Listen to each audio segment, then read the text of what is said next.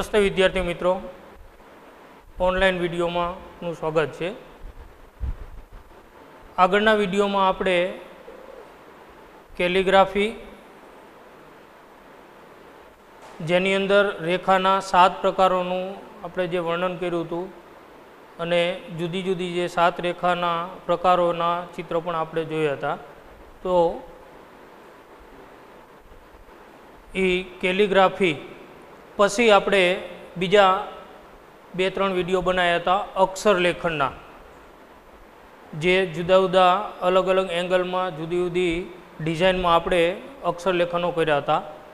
આજ આપણે અક્ષર લેખન પછી ભાતચિત્ર, ભાતચિત્રના જે ટોટલ ચાર પ્રકાર છે, તો એ ચાર પ્રકારના આપણે અલગ અલગ ચિત્રો જોવાના છે અને એના વિશે જાણવાનું છે તથા શીખવાનું છે.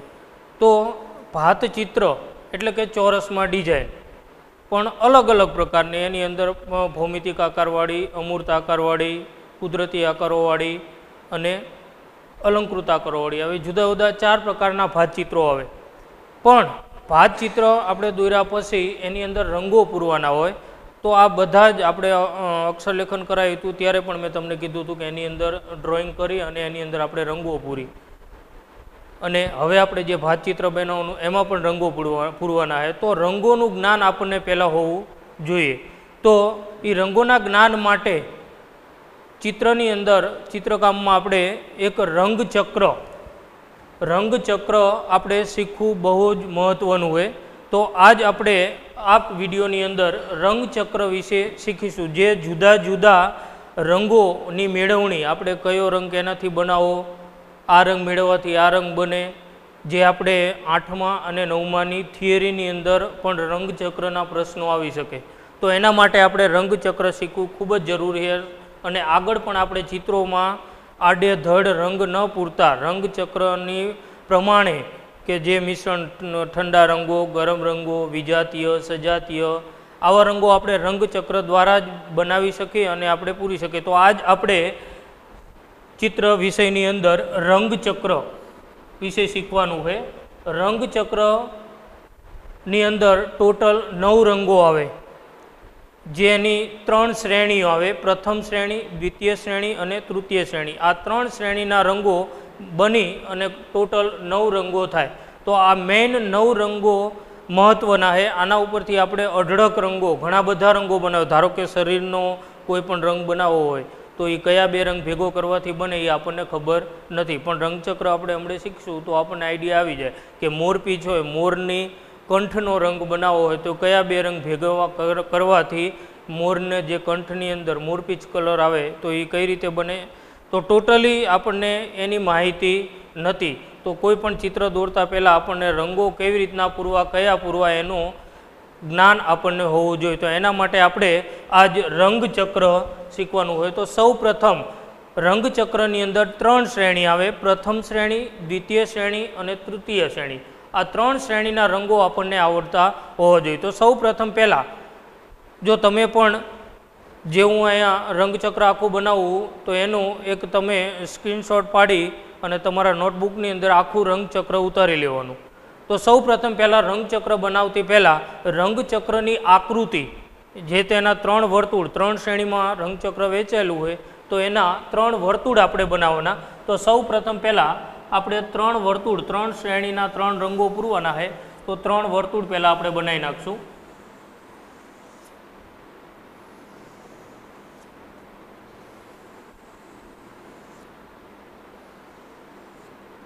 જો તમને આ રંગચક્રની આકૃતિવાળું રંગચક્ર આવડે, એ આપણે મગજમાં બેવાડી જ લેવાનું કે આ રીતના ત્રણ શ્રેણી, આ રીતના ત્રણ ચક્રો આવે અને એની અંદરથી આપણે જુદા જુદા રંગો બનાવીએ કે સૌ પ્રથમ પહેલાં આપણે આવા ત્રણ વર્તુળ બનાવવાના. હવે આ પ્રથમ વર્તુળ, બીજું વર્તુળ, ત્રીજું વર્તુળ. ત્રણેય વર્તુળની અંદર એક પ્રથમ શ્રેણીમાં ત્રણ રંગો આવે, બીજી શ્રેણીમાં ત્રણ રંગો અને ત્રીજી શ્રેણીમાં ત્રણ રંગો. ટોટલ નવ રંગ થાય. તો એના આપણે ત્રણ ભાગ કરવાના. તો આ પ્રથમ વર્તુળ છે તો એના ત્રણ ભાગ કઈ રીત કરવાના? જોઈ લો, આ રીતના ત્રણ ભાગ કરી નાખો. ત્રણ સરખા ભાગ થઈ ગયા. પછી બીજા વર્તુળમાં બીજા વર્તુળમાં આપણે જોવાનું કે પ્રથમ શ્રેણીના બે રંગ ભેગા કરો, એટલે ત્રીજી શ્રેણીનો રંગ બને. તો એના માટે આપણે શું કરવાનું? આ બે જે રેખા છે, એના વચ્ચે એક લીટી કરવાની. આ બે વચ્ચે લીટી કરો, એટલે આ બે રંગ ભેગા કરો, એટલે આ રંગ બને, આ બે રંગ ભેગા કરો, એટલે આ રંગ બને, આ બે રંગ ભેગા કરો, એટલે આ રંગ બને આ દ્વિતીય શ્રેણીના ત્રણ ભાગ પાડી દીધા. એવી રીતના ત્રીજી શ્રેણીના. તો ત્રીજી શ્રેણીના રંગ બનાવવા હોય તો કઈ શ્રેણીના રંગોનો ઉપયોગ થાય? બીજી શ્રેણીના રંગોનો. તો એમાં પણ આપણે આ ખાનું આ ખાનું, આ બે ભેગા કરીએ એટલે અહીંયા એક રંગ બને. તો એના માટે આપણે આ બે લીટી વચ્ચે એક લીટી કરવાની, આ બે વચ્ચે એક લીટી કરવાની અને આ બે વચ્ચે એક લીટી કરવાની. આ રીતનું સૌપ્રથમ પહેલાં આપણે એક રંગચક્ર બનાવી નાખવાનું. આપણે નવ ભાગ પાડી દીધા. ત્રણેય વર્તુળના ત્રણ નવ ભાગ. ત્રણ, આ ત્રણ સો અને ત્રણ નવ. આ રીતની આપણે સૌપ્રથમ પહેલાં આપણે આપણા નોટબુકની અંદર વ્યવસ્થિત આકૃતિ દોરી લેવાની.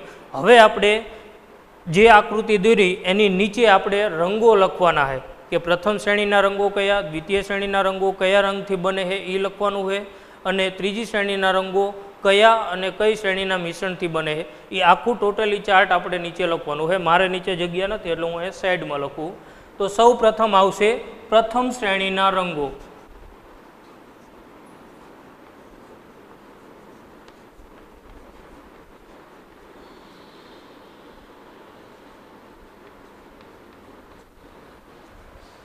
પ્રથમ શ્રેણીના રંગો છે ત્રણ, લાલ, પીળો અને વાદળી. આ ત્રણ ખાનામાં આપણે ત્રણ રંગ લખી નાખ્યા, લાલ, પીળો અને વાદળી. આ પ્રથમ શ્રેણીના રંગો. હવે આપણે એક વિચારો કે પ્રથમ શ્રેણીના રંગો બે ભેગા કરીએ એટલે બીજી શ્રેણીનો રંગ બને.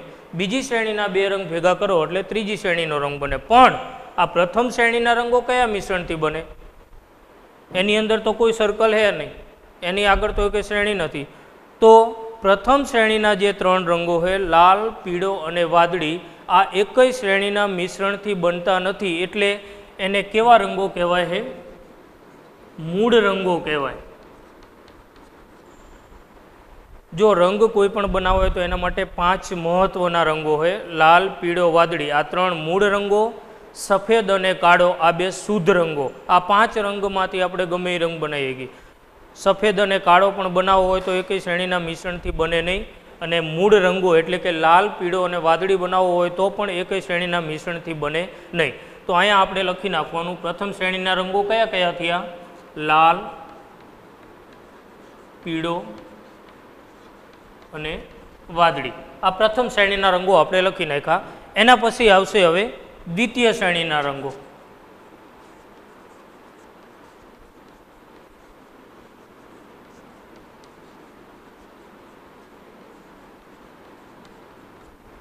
દ્વિતીય શ્રેણીના રંગો મિશ્રણથી બને છે. કઈ રીતે? મેં તમને હમણાં કીધું કે આ બે ખાનાનો કલર ભેગો કરો તો આ રંગ બને આ બે ખાનાનો રંગ ભેગો કરો તો આ બને આ બે ખાનાનો રંગ ભેગો કરો તો આ બને. તો આ બે ખાનામાં કયા કયા રંગો હોય? લાલ અને પીળો. તો લાલ અને પીળો ભેગો કરી તો કયો રંગ બને? કેસરી. તો અહીંયા આપણે લખી નાખવાનું કેસરી. આ બીજી શ્રેણીનો રંગ થયો. તો સૌ આપણે લખવાનું કે કયા બે રંગો ભેગા કર્યા આપણે? લાલ વત્તા પીળો બરાબર કેસરી. આવી રીતના લખી નાખવાનું. આ કેસરી રહ્યો એક દ્વિતીય શ્રેણીનો રંગ થયો. હવે બીજું ખાનું. આ બે ખાના ભેગા કરી એટલે આ રંગ બને. તો આ બે ખાનામાં કયો રંગ છે? પીળો અને વાદળી. પીળો અને વાદળી ભેગો કરો તો કયો રંગ બને? લીલો. તો અહીંયા આપણે લખી નાખવાનું. પીળો વત્તા વાદળી બરાબર લીલો. આ લીલો પણ બીજી શ્રેણીનો રંગ થયો. હવે આવશે આ ખાના બે. આ બે ખાના ભેગો કરી એટલે આ રંગ બને. તો આ બે ખાનામાં કયા રંગો છે લાલ અને વાદળી. તો કયો રંગ બને? લાલ વત્તા વાદળી બરાબર જાંબલી. તો અહીંયા આપણે લખી નાખવાનું. લાલ વત્તા વાદળી બરાબર જાંબલી. હવે આપણે દ્વિતીય શ્રેણીના ત્રણ રંગો મળી ગયા. કેસરી, લીલો, જાંબલી. પ્રથમ શ્રેણીના રંગો લાલ, પીળો, વાદળી. બીજી શ્રેણીના રંગો કેસરી, લીલો અને જાંબલી. અને એ કયા રંગથી બને એ પણ આપણે અહીંયા લખી દીધું હોય કે લાલ વત્તા પીળો બરાબર કેસરી, પીળો વત્તા વાદળી બરાબર લીલો, લાલ વત્તા વાદળી બરાબર જાંબલી. હવે આપણને ગમે ત્યારે આઠમાની કે નવમાની અંદર થિયરી આવે તો એની અંદર તમને પ્રશ્ન પૂછાય કે પીળા રંગની અંદર કયો રંગ ઉમેરવાથી કેસરી રંગ બને? તો આપણે પીળા રંગની અંદર કયો રંગ બનાવવાથી કેસરી બને? તો જવાબ આવે લાલ. આવી રીતના આડાવડા ગમે એ રીતના પ્રશ્નો અથવા બીજી રીતે પૂછે કે લાલ વત્તા વાદળી મેળવવાથી કયો રંગ બને? તો લાલ અને વાદળીથી કયો રંગ બન્યો? જાંબલી. તો એ આડાવડા ગમે એ રીતના પ્રશ્ન પૂછે તો આપણે રંગચક્ર આવડતું હોય તો આ પ્રશ્નો ઇઝીલી આપણે ગોખવા ન પડે. આપણને આપણા મગજમાં બેસેલો જ છે રંગચક્ર. ખબર જ છે કે લાલ વત્તા પીળો. આ બે ખાનાનો ભેગો કરી તો કયો રંગ બને? વાદળી અને લીલો ભેગો કરો. એટલે વાદળી અને પીળો ભેગો કરો તો કયો રંગ બને? એ રંગચક્ર આપણને આવડતું હોય તો એ બધા ઇઝીલી પ્રશ્નો આવડી જાય. હવે આવશે તૃતીય શ્રેણીના રંગો.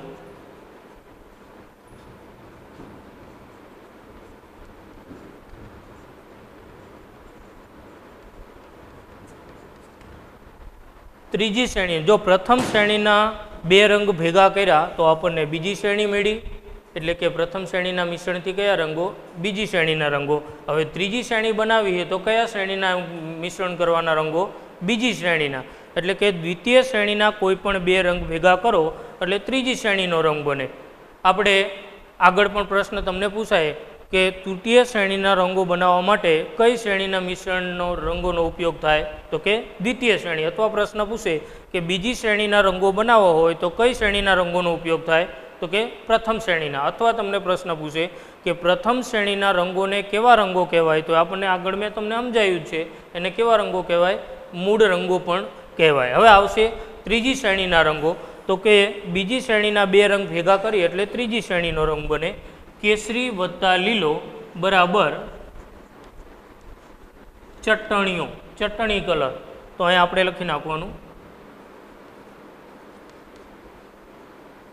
કેસરી વત્તા લીલો બરાબર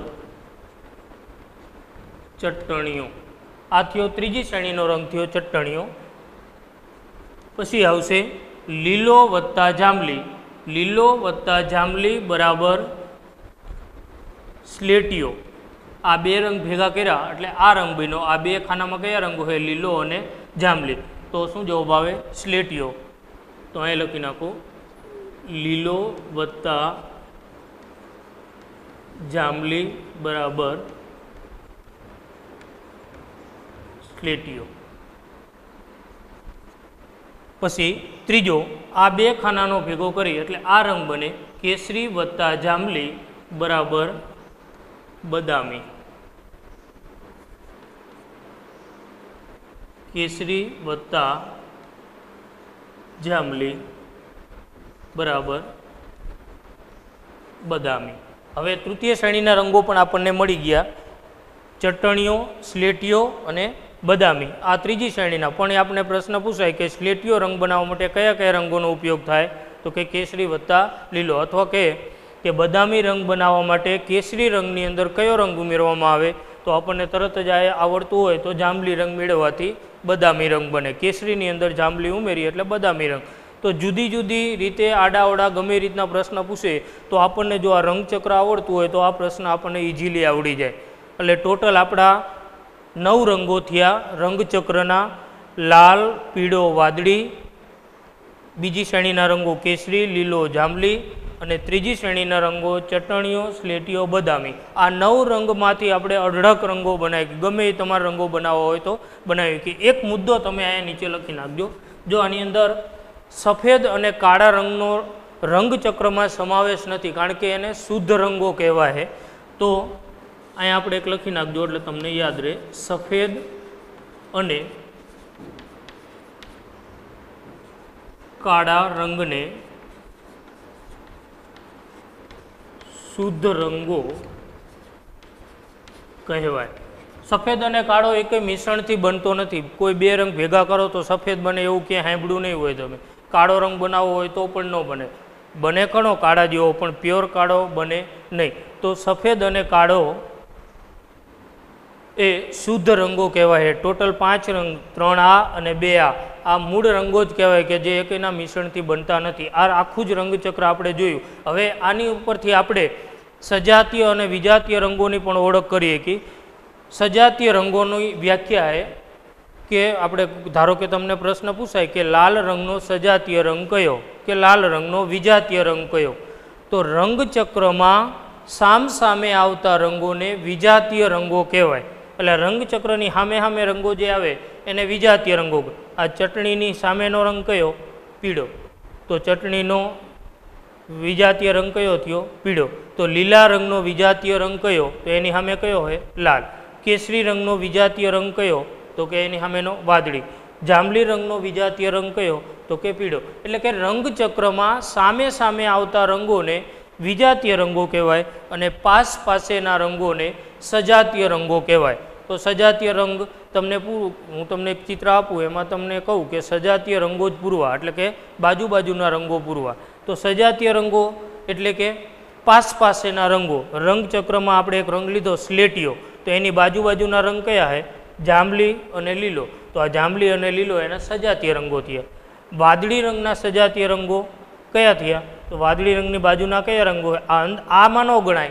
જે શ્રેણીમાંથી પ્રશ્ન પૂછ્યો હોય એ શ્રેણીમાં એનો જવાબ ન હોય. તો વાદળી રંગના સજાતીય રંગો લીલો અને જાંબલી. લાલ રંગના સજાતીય રંગો જાંબલી અને કેસરી.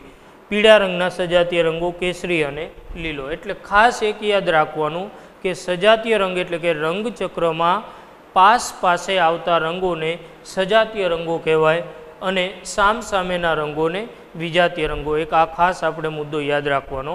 હવે કેટલાક રંગો એવા છે કે જે આપણે વધારે જરૂરી હોય અને એ રંગચક્રમાં નથી. તો એ થોડા રંગો હું તમને બ્લેકબોર્ડમાં લખી દઉં તો આપણે વ્યવસ્થિત ઉતારી નાખજો. એટલે કે આપણે રંગો બનાવવા હોય તો આનો ઉપયોગ કરી શકો.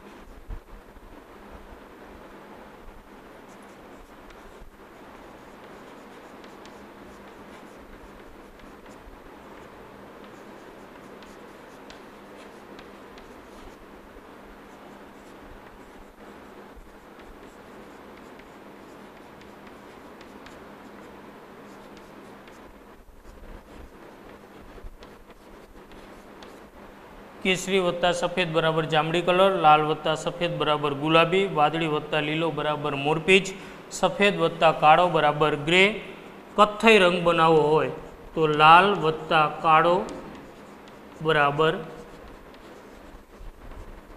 કથ્થાઈ રંગ. કથ્થાઈ એટલે કે લાકડા કલર. પછી લીલો વત્તા પીળો બરાબર. પોપટી રંગ. પછી પીળો વત્તા કાળો, બરાબર. મહેંદી રંગ. તો આવા અલગ અલગ આપણે મિશ્રણવાળા રંગો, જે આ વધારે જરૂરી હોય એવા રંગો મેં તમને થોડાક લખી દીધા છે, તો એ પણ આપણે યાદ રાખી લેજો નવ રંગ આ અને બાકીના આ રંગો. આટલું આપણે એક વ્યવસ્થિત સારા અક્ષરે આપણા નોટબુકની અંદર ઉતારી નાખજો. જેથી ગમે ત્યારે આપણે આ રંગો, રંગચક્ર સમજીએ કે શીખીએ કે અને એનો આપણે આપણા ચિત્રની અંદર ઉપયોગ કરીએ કે અને થિયરીમાં પણ આઠમા, નવમા વાળા ખાસ કે આપણે જે થિયરીનું પેપર આવે છે ત્રીસ માર્કનું, તો એની અંદર આના લગભગ સાતથી આઠ પ્રશ્નો રંગચક્રના પૂછાય તો આપણે વ્યવસ્થિત રંગચક્ર આપણે અને જે આગળના ધોરણવાળા છ સાતવાળા તો એમને રંગચક્ર જરૂરી છે. કારણ કે રંગો તો પૂરવાના જ હોય. તો આપણે વ્યવસ્થિત રંગચક્ર શીખી લઈ તો આપણે આપણા ચિત્રની અંદર વ્યવસ્થિત રંગ પૂરી શકીએ. અસ્તુ.